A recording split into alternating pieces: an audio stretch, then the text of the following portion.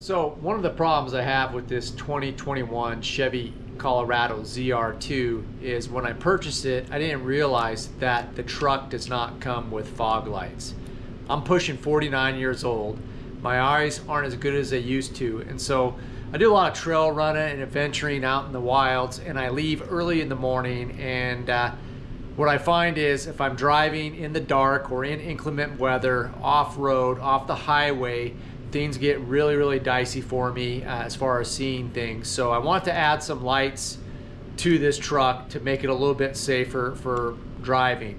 So I've added the Baja Design uh, ditch lights and then I also went ahead and I put in some uh, LED headlights uh, replacing the old school headlights that came with this truck. So in this video, uh, in order to hook up those ditch lights, I needed some type of switch inside the cab of my truck.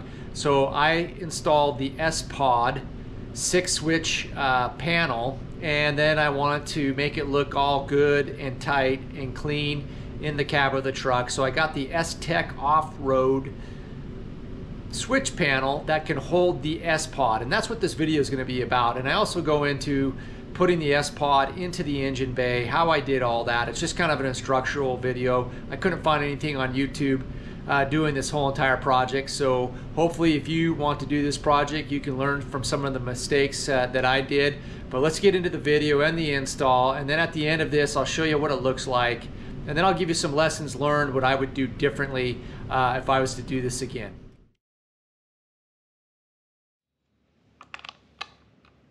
First remove the positive and negative cables on the S-Pod. It takes a 10 millimeter socket. Now remove the four base plate screws on the S-Pod. This is a rubber gasket that you want to use on the power tray for the S-Pod. Now take the four screws that came with the power tray you're going to install those into the actual S-Pod device.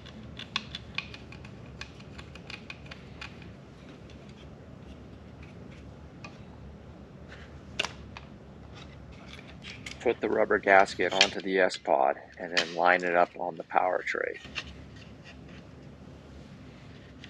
Secure it to the power tray by screwing in the four screws on the four corners. Now reinsert through those slots the positive and the negative power cables and reattach using the 10 millimeter socket.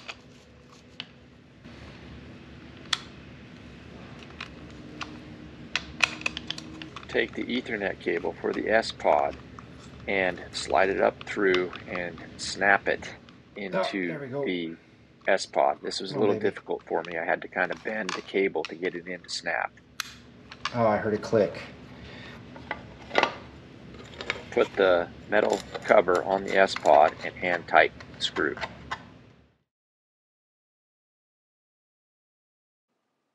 Take a 7 millimeter socket and remove that bolt and you're going to pull that plastic fairing up and up underneath there if you can see that other bolt right there that's a 10 millimeter socket you're going to have to remove that this is towards the front of the truck that's a 10 millimeter uh, bolt also and go ahead and remove that. These are going to be the two attachment points for the S-Pod power tray. So this is towards the front of the truck. You're going to put the bolt back in and this is underneath that plastic fairing. If you can see here, uh, the S-Pod, I'm sorry, the power tray is in there. You're going to put a bolt back in there. I just couldn't film it because it was such a tight area. So uh, reattach those two bolts after the power tray has been installed and put that little 7 millimeter socket back where you found it. And this is what it should look like when it's installed. So it has two attachment points. Up next is putting the Ethernet cable from the engine bay into the actual driver's compartment. So I attached the Ethernet cable to this little plastic thing and I got a, a fillet knife for fishing and I cut a hole right there in that little rubber grommet on the driver's side. And then I was able to get my big hands up through there and I fished it through. As you can see here, I, I fished the Ethernet cable through the side of the truck, and this is what it looks like.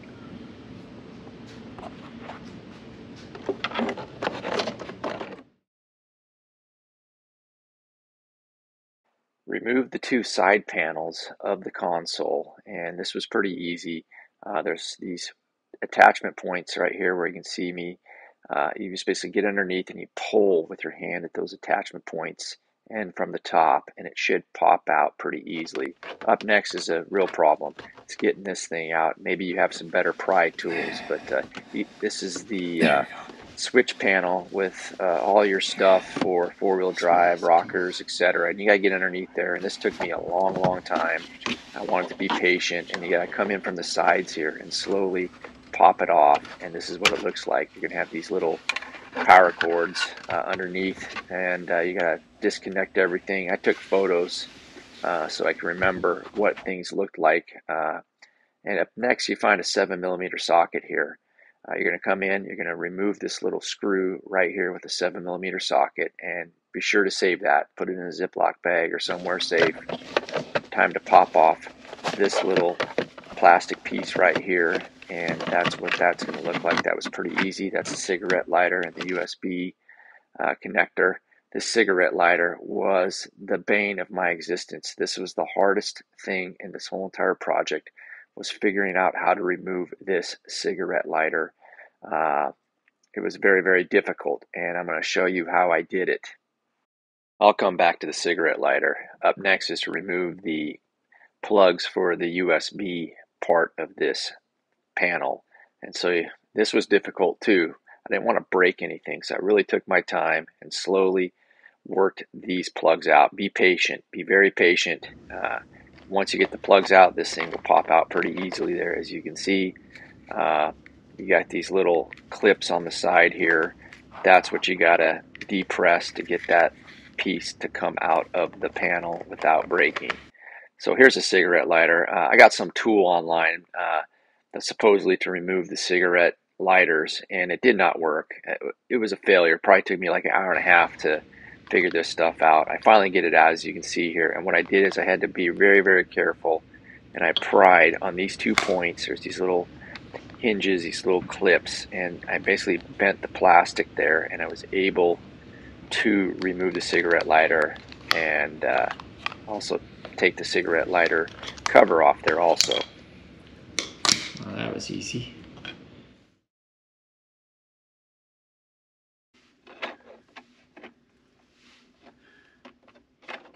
full face panel into the console. So there's a little white frame that is going to be used for drilling the four holes to attach the panel into the console.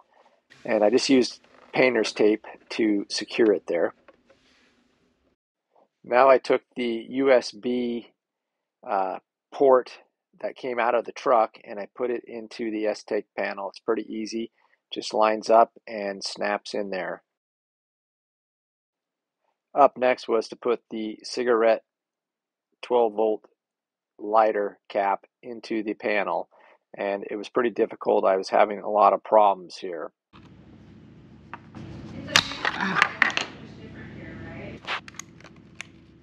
So I needed to get a razor blade and go through and cut that hole. There was like a little bit of the uh, plastic on there, so I had to cut the hole so the lighter cap, 12 volt cap could pop into it. And this is going to process uh, that you're going to do throughout this project going forward for the other parts of the full face panel you'll see here in a bit.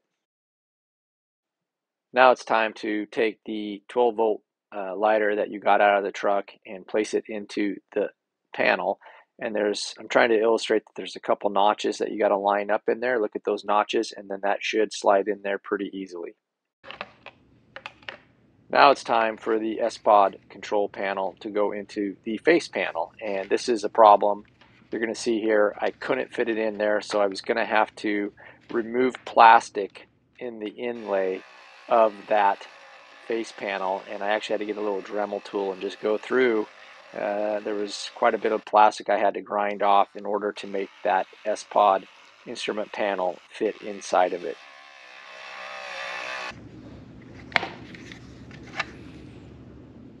keep that Dremel tool out because you're going to need it to fit uh, a drill bit into the actual frame for drilling the four holes. And up next is going to be reconnecting all the cables and the Ethernet into the S-Pod uh, instrument panel. Make sure everything clicks and snaps and you can actually hear that it's a secure fit.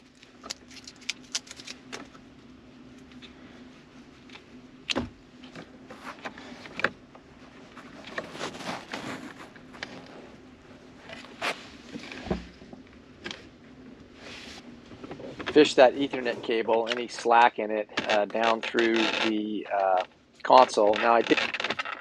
All right, so I learned that you're going to have to take a drill bit on those four holes for the uh, panel to screw into, and you got to drill it from the other side to make sure that it's a clear hole so the screws can get through.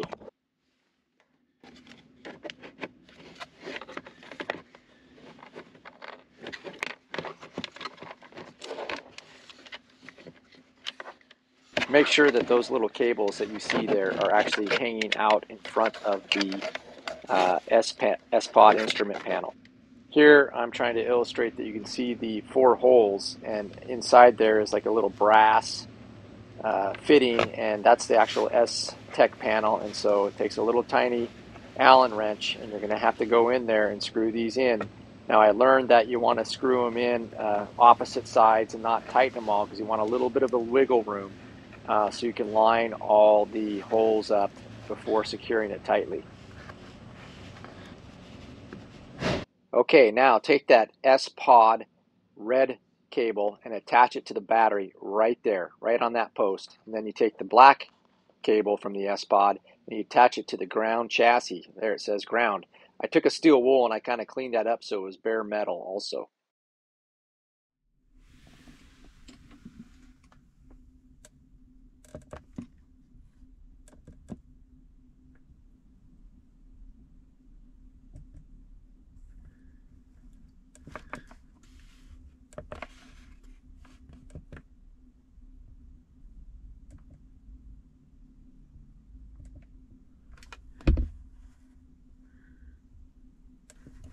So here's the thing that I would do is before you go ahead and install the S-Tech and S-Pod panel back into the main console of the truck, make sure that the S-Pod switch is working. I had a problem with it. I don't know what the problem was. I, I basically had to remove everything, make sure all the connections were together, and then basically put it all back together and then it started working. So it was probably user error on my part. The other thing is make sure you have some kind of volt meter. Uh, I had to borrow one from my uh, my neighbor. I didn't have that. Uh, if I had that from the beginning, probably that uh, mistake that I made about it not working, I probably could have diagnosed it much better. Those are the things that I would do differently. Uh, is basically make sure the thing is working prior to putting everything back in and tighten everything up. So hopefully you enjoyed this video and you learned something. So thanks a lot for watching. If you got any questions, put it in the comments and thanks a lot. And don't forget to get out there and escape the matrix.